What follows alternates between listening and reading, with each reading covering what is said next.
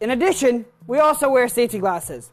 Uh, just about any kind of uh, safety glasses, polycarbonate, acrylic, glass, will stop infrared light.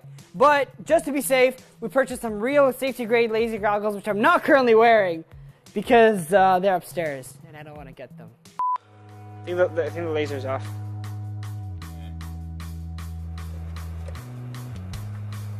It's it.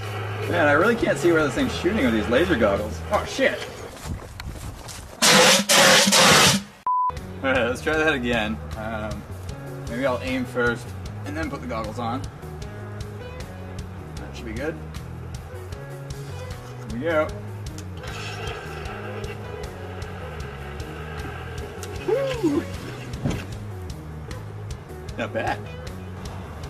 This is really heavy.